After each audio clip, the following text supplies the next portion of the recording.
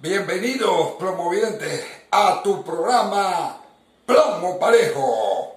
Bueno, hoy tenemos un programa especial y un programa con un invitado especial. Hoy tenemos como invitado a Miguel Ángel Martín Tortabú. Él es el magistrado presidente del Tribunal Supremo Legítimo, el electo por la Asamblea Nacional. Pero fíjense lo siguiente, lo hemos invitado porque recientemente el Tribunal Supremo de Justicia Legítimo tomó una decisión, una decisión eh, que yo diría que llama mucho la atención, porque no sé si eso se puede dar o simplemente queda en el papel. Ellos ratificaron la decisión de alerta roja de, en Interpol para la captura de Nicolás Maduro. Yo le preguntaría al ciudadano magistrado si eso es un hecho o está por darse. Porque la detención del presidente ilegítimo, si se da, se da bajo qué cargo. ¿Qué argumenta el Tribunal Supremo Legítimo para ratificar a quien dice ser el presidente de Venezuela, pero resulta que es ilegítimo, porque la elección en la cual supuestamente fue electo eh, fue una elección falsa, viciada.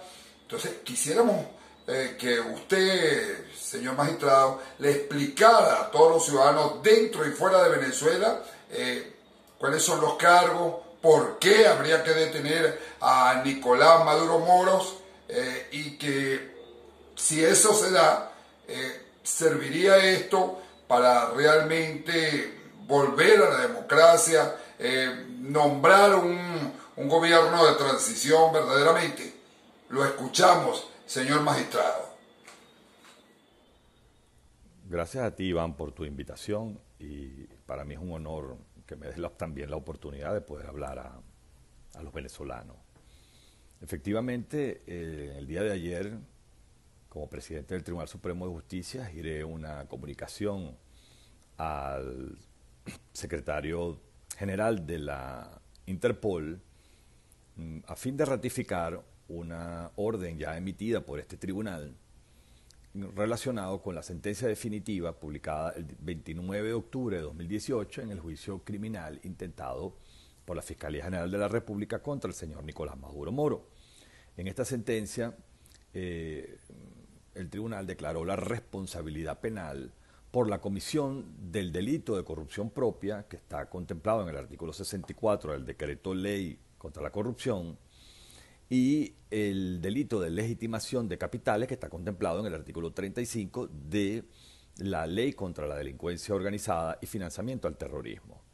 El Tribunal Supremo de Justicia, cumpliendo el proceso de acuerdo a los lineamientos que están en la Constitución y en las leyes venezolanas, respetando las garantías, prerrogativas y los privilegios constitucionales en un juicio oral y público e inédito, realizado en el Senado colombiano, se encontró la culpabilidad de Nicolás Maduro Moro de los delitos que habían sido, por los cuales había sido acusado.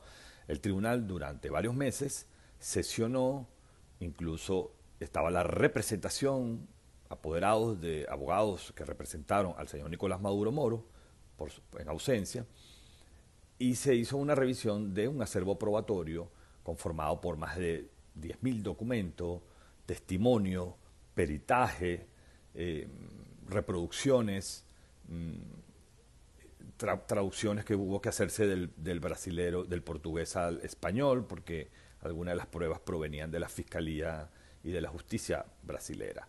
Recordemos todos que este proceso judicial es un juicio criminal que se origina por la contratación de megaobras mm, de la empresa Odebrecht con el Estado venezolano fueron diferentes obras, en las cuales estaban valoradas en más de 2.500 millones de dólares que fueron pagados por, por el dinero con el dinero de los venezolanos y que no fueron construidas.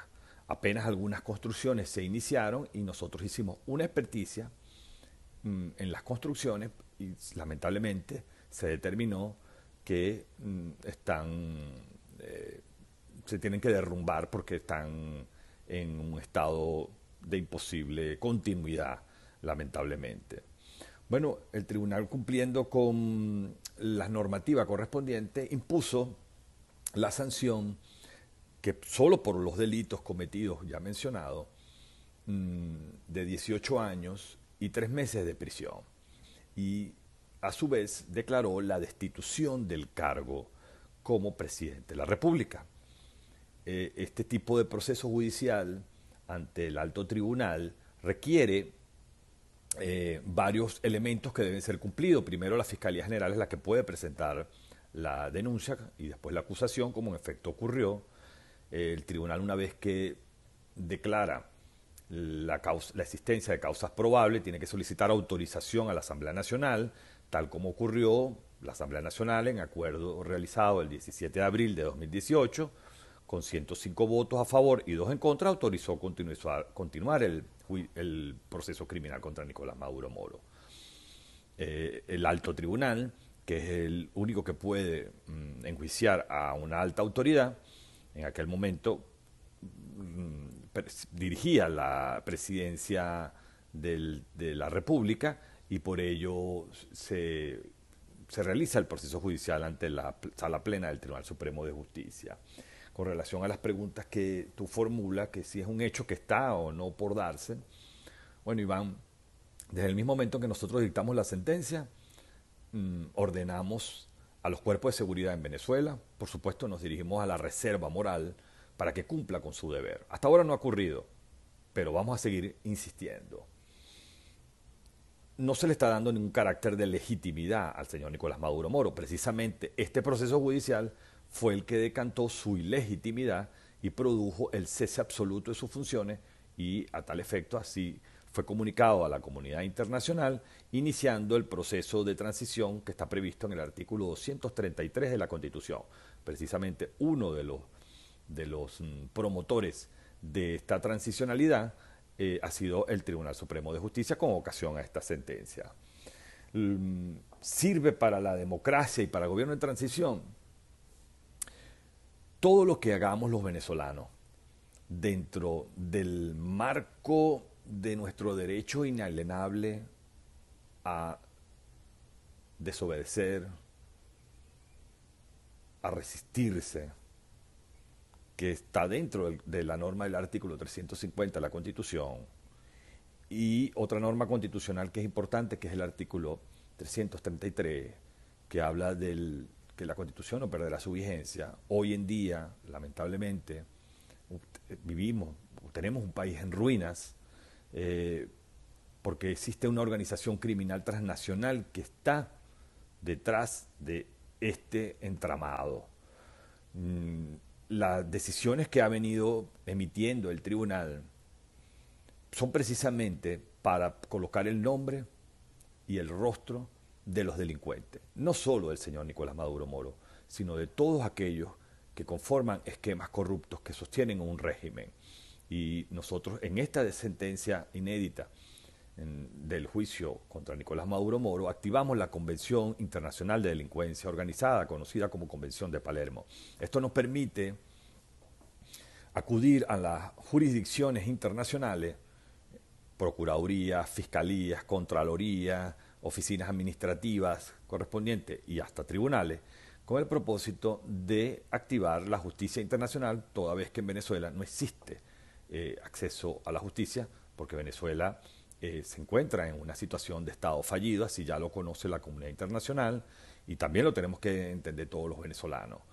Mm, tenemos que continuar luchando en toda y cada una de las esferas, el régimen está agonizando, el régimen no la está pasando bien, y sabe que desde del lado de los luchadores de la democracia hay mucha gente trabajando desde la ciudadanía, desde aquellos que tienen algún cargo de, alguna investidura por algún cargo por algún cargo designado legalmente.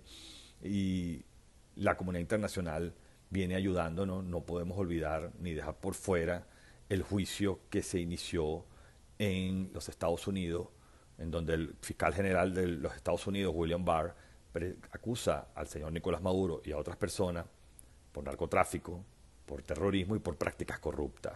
Casualmente, uno de los procesos judiciales que ha iniciado esta, mm, esta activación de las prácticas corruptas y la demostración de un esquema financiero es el caso de Odebrecht, en la cual abrió la caja de Pandora.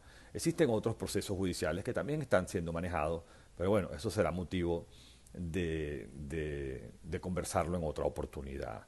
Por lo pronto, mm, quiero pedirle a, todos los ciudadanos que sigamos luchando, que sigamos trabajando. Tenemos enfrente no un adversario, tenemos enfrente a un enemigo público y tenemos que actuar con todos los mecanismos que establece nuestra, constitución, nuestra ley y sobre todo nuestro derecho mm, natural a ser libres.